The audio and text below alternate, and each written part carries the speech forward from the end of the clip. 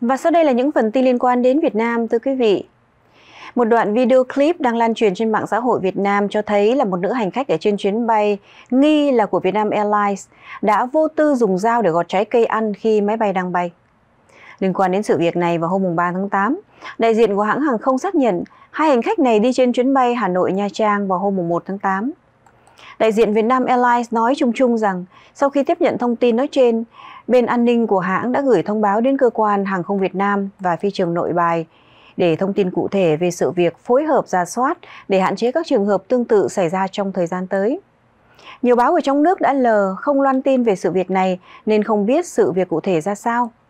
Đây là lần thứ hai hàng không Việt Nam để cho hành khách mang dao lên máy bay và thản nhiên sử dụng.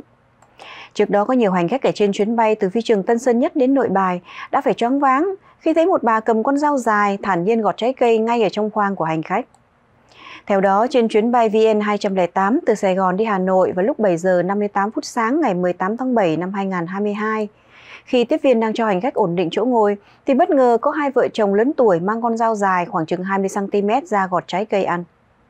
Kể với báo tuổi trẻ, một người Sài Gòn quay được video và đã chụp hình sự việc, cho biết rằng vào thời điểm nói trên, chuyến bay vừa cất cánh, chưa ổn định độ cao thì họ đã lấy dao ra và gọt trái cây ăn. Theo quy định hiện hành, dao lam, dao dọc giấy, các loại dao có lưỡi không bao gồm cán dao. Dài trên 6 cm hoặc là tổng chiều dài của cán và lưỡi trên 10 cm thì sẽ không được mang vào khu vực hạn chế, cũng như là các khoang khách của máy bay. Ông Tô Tử Hùng là trưởng phòng an ninh hàng không cơ quan hàng không Việt Nam đã thừa nhận với báo đài cho biết về việc để lọt vật bị cấm như là dao, lên máy bay, cho thấy khâu giả soát an ninh soi chiếu ở phi trường Tân Sơn Nhất vẫn còn rất lỏng lẻo. Người dân tại miền Bắc của Việt Nam đang đổ xô đi bắt giun đất để bán cho các thương lái của Trung Quốc. Những con giun đất còn sống được bán cho các tay thu mua tại Việt Nam. Sau đó, những người này mổ những con giun ra, sấy khô hoặc là phơi khô rồi bán lại cho các thương lái người Trung Quốc. Không chỉ riêng tỉnh Hòa Bình mà hiện tượng đi bắt giun đất đang diễn ra ở nhiều tỉnh thành phía Bắc như là Sơn La, Tuyên Quang và Bắc Giang.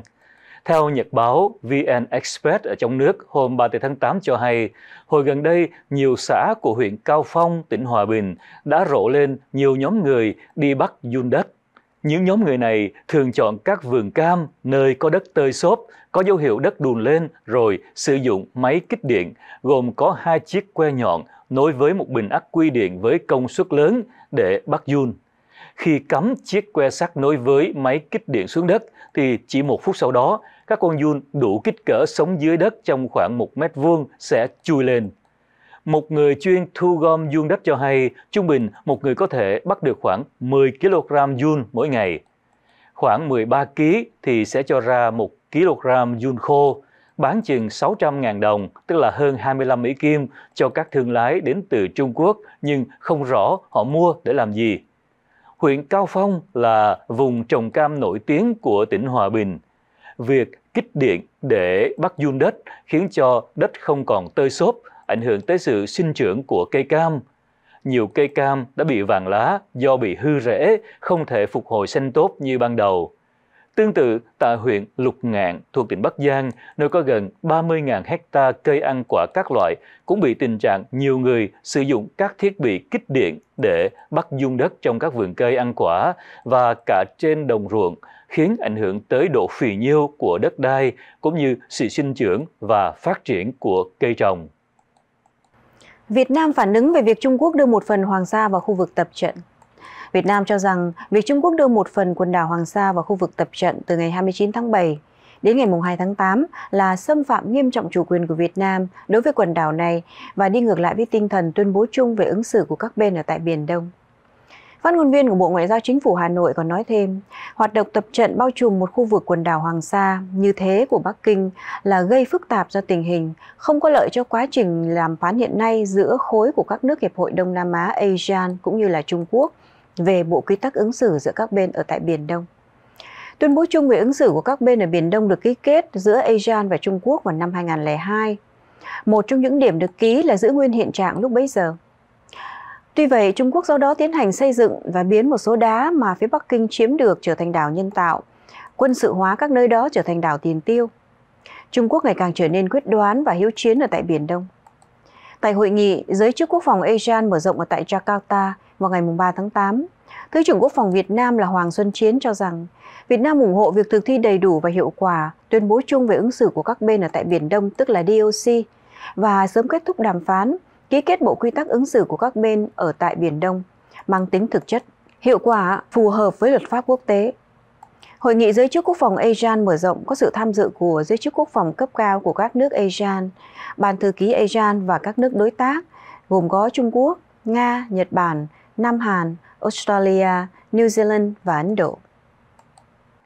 Tại Việt Nam, nhiều chuyên gia thẩm mỹ không được huấn luyện trong các trường y khoa, thậm chí chỉ thực hành phẫu thuật trên đùi gà và cánh gà, thế nhưng họ vẫn tự xưng là chuyên gia thẩm mỹ. Các bác sĩ thật cũng phải chào thua. Bất chấp nguy hiểm đối với khách hàng, những lò đào tạo này vẫn cho ra đời hàng loạt các bác sĩ mạo danh đang lộng hành trên thị trường làm đẹp. Trong suốt nhiều năm qua, bác sĩ Đỗ Quang Hùng là nguyên trưởng khoa phẫu thuật tạo hình thẩm mỹ ở Bệnh viện Chợ Rẫy, cũng là Phó Chủ tịch Hội Phẫu thuật Thẩm mỹ Sài Gòn, luôn kiên trì với công việc chống lại tình trạng giả danh bác sĩ thẩm mỹ. Tuy nhiên, ông thở dài, ngao ngán chia sẻ như sau, chỉ như muối bỏ bể mà thôi. Thí dụ, những tiệm spa chỉ được phép chăm sóc da, nhưng họ lại biến thành phòng khám, rồi biến thành viện thẩm mỹ, có thể thực hiện các hoạt động chích filler, rồi cắt mí mắt, treo cung lông mày hoặc là căng chỉ, thậm chí giải phẫu, nâng mũi hoặc vùng kín, vân vân. Họ còn huấn luyện cho ra lò hàng loạt các bác sĩ giả danh bất chấp sự nguy hiểm của khách hàng. Vị chuyên gia này chia sẻ thêm như sau, có những lớp huấn luyện bác sĩ thẩm mỹ sử dụng đùi gà và cánh gà để cắt tỉa. Họ học chỉ trong vòng vài ba buổi rồi tự phong mình là chuyên gia thẩm mỹ. Để trở thành một bác sĩ ngoại khoa, có thể cầm dao mổ trên khách hàng, các bác sĩ phải trải qua thực hành thực tế biết bao nhiêu trường hợp giải phẫu lớn nhỏ khác nhau và được huấn luyện từ cách cầm dụng cụ mổ cho tới từng thao tác may da, cầm kim, cầm chỉ, vân vân. Khi ra trường, chưa chắc họ đã làm thẩm mỹ mí mắt được. Trong khi đó, có những người chưa hề học gì về y khoa hoặc chỉ học bõm bẽm kèm theo cắt tỉa vài miếng thịt rồi vẫn làm cho khách hàng.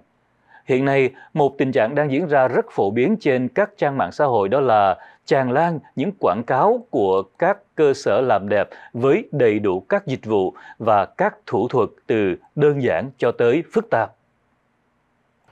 Việt Nam sẽ có trên 16 triệu người không có lương hưu vào năm 2030. Đó là dự báo của Tổ chức Lao động cho ngày 3 tháng 8 và đã được truyền thông nhà nước loan tin. Bộ Lao động Thương binh và Xã hội của Việt Nam nhận định tốc độ già hóa dân số nhanh, tỷ trọng người cao tuổi có xu hướng tăng nhanh, trong khi tỷ trọng người giảm độ tuổi lao động thì giảm đi. Kinh nghiệm của các nước thực hiện chính sách bảo hiểm xã hội hướng tới bao phủ toàn dân cho thấy chính sách bảo hiểm xã hội cần được thiết kế theo hướng đa tầng, hỗ trợ và bổ sung cho nhau để bảo đảm an sinh cho người dân. Do đó, Bộ Lao động cho rằng để ứng phó với hiệu, hiệu quả với quá trình già hóa dân số, bên cạnh các giải pháp về chính sách, vai trò của nhà nước hỗ trợ cho người dân tham gia và thụ hưởng quyền lợi bảo hiểm xã hội là nhân tố quyết định. Hiện nay số người hưởng lương hưu và trợ cấp bảo hiểm xã hội hàng tháng, trợ cấp xã hội hàng tháng đối với người cao tuổi là hơn khoảng 5.1 triệu người,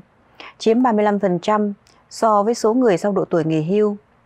Tính đến cuối năm ngoái, Việt Nam có khoảng 14.4 triệu người sau độ tuổi nghỉ hưu, tức là từ 55 tuổi trở lên đối với nữ và từ 60 tuổi trở lên đối với nam. 5.1 triệu người hưởng lương hưu và trợ cấp bảo hiểm xã hội hàng tháng và trợ cấp hưu trí xã hội. Con số này chỉ chiếm khoảng 35% tổng số người sau độ tuổi nghỉ hưu.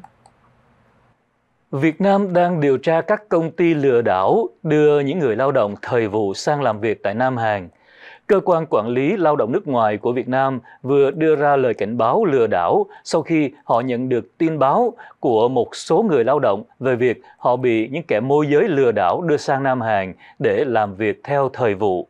Những kẻ lừa đảo đã chào mời quảng bá có thể đưa người lao động sang Nam Hàn làm công việc theo thời vụ, theo diện visa C4 và E8. Đây là hình thức hợp tác lao động theo thỏa thuận ký kết giữa các địa phương của Việt Nam với các địa phương của Nam Hàn, cho nên việc tuyển chọn những người lao động này chỉ có những địa phương có sự ký kết với Nam Hàn mới thực hiện được. Tính cho tới nay, chương trình này mới chỉ được thực hiện ở 12 tỉnh thành. Các tỉnh thành nói trên đã ký kết với các địa phương tại Nam Hàn cùng với Sở Lao động Thương binh và Xã hội Việt Nam là cơ quan quản lý thực hiện cũng như Trung tâm Dịch vụ Việc làm là đơn vị trực tiếp tuyển chọn, hoàn thiện hồ sơ và phái các ờ, công nhân viên sang làm việc tại Nam Hàn. Cơ quan quản lý lao động ngoài nước đã đề nghị công an của Việt Nam ở một số tỉnh thành điều tra về hành vi vi phạm pháp luật của một số tổ chức, thí dụ như công ty trách nhiệm hữu hạn TM dịch vụ tư vấn du lịch và du học quốc tế T&Q, công ty trách nhiệm hữu hạn thương mại và dịch vụ du lịch L&A, vân vân. Đây là những công ty đã tổ chức tuyển chọn và thu tiền của những người lao động với lời cam kết là sẽ đưa những người này đi làm việc thời vụ tại Nam Hàn theo thị thực E8. Phim Oppenheimer của Mỹ có khả năng sẽ bị cấm chiếu bởi vì có chứa một số vấn đề về chính trị. Giới hữu trách Việt Nam đang để ngỏ khả năng cấm chiếu bộ phim Oppenheimer của Hollywood, tái hiện lại cuộc đời của người phát minh ra bom nguyên tử. Trưởng cơ quan điện ảnh Việt Nam vì Kiến Thành xác nhận rằng cơ quan của ông chưa có kết luận cuối cùng về khả năng phim này có được chiếu tại Việt Nam hay không, dù thời gian phát hành được dự kiến vào ngày 11 tháng 8. Lý do bộ phim này chưa vượt qua được vòng kiểm duyệt là bởi phim chứa một số nội dung và vấn đề chính trị cần phải được cân nhắc kỹ lưỡng và quyết định cuối cùng đang nằm ở cơ quan điện ảnh. Bộ phim tái hiện lại cuộc đời của nhà vật lý J. Robert Oppenheimer do Cillian Murphy thủ vai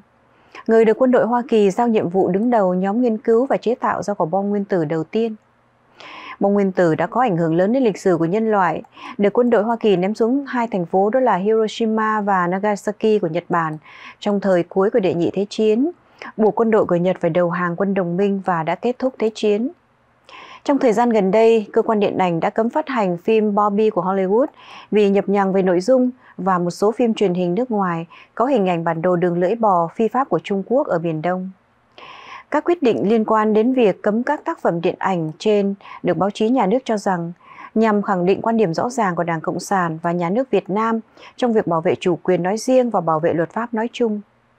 Trong khi đó, báo Tuổi Trẻ Online đã dẫn nguồn tin không nêu danh tính, nói bộ phim Oppenheimer sẽ ra dạp bình thường ở Việt Nam.